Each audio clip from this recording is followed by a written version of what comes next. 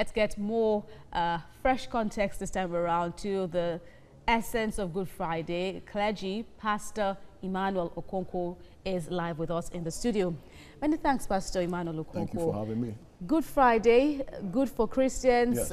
bad for Jesus Christ from what we know. Yes, yes. Uh, the, the, perhaps the most uh, uh, important day on the uh, Christian calendar. Uh, and, you know, we, we're happy for what Jesus did on, on this day. And so we, we, can't, we can't describe it enough.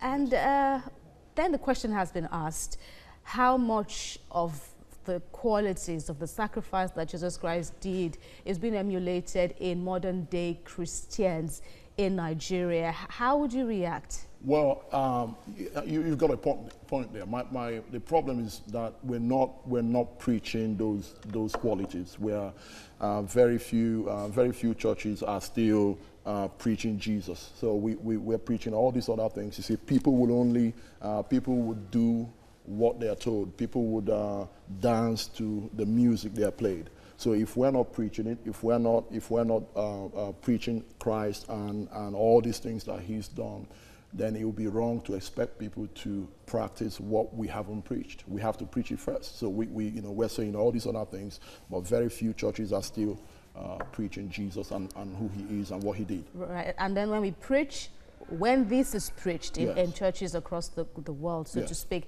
how much of this nugget of these teachings, when practiced, will be an answer to the burdens of the world now? Oh yeah, uh, it, it, it, it is. Uh, if we practice what Jesus done, for instance, uh, just um, a sacrifice, the, the vicarious sacrifice, being able to uh, take pain for, for somebody else. Uh, imagine if we did it in our country. Imagine if people would uh, uh, sacrifice for, for, for others. Imagine if our politicians uh, would sacrifice for the masses. Imagine if our president would sac- sacrifice for the populace.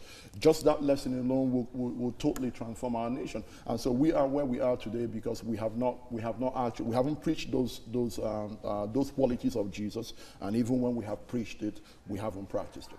Uh, The president and other uh, top personalities in the country have called for peaceful coexistence, brotherliness in, in a time like this. Yes. Uh, how significant is this to a country like Nigeria that's filled with, with you know, various other religions? True. Uh, well, well, uh, uh, Christ was a man of peace. Remember, he was the one who revolutionarily said, uh, if someone slaps you on one cheek, uh, Turn uh, the turn, the, the other. And if somebody demands that you go one mile with them, go two miles. Uh, tho- tho- those are things that we need today, especially in this uh, uh, uh, climate of intolerance. Uh, so, uh, if there's any country that needs the message of Jesus preached and practiced, our nation should, should, should come out as, as number one. And because we're not preaching it and we're not practicing it, uh, we're even in a worse situation than, than, than, than you know, we should be.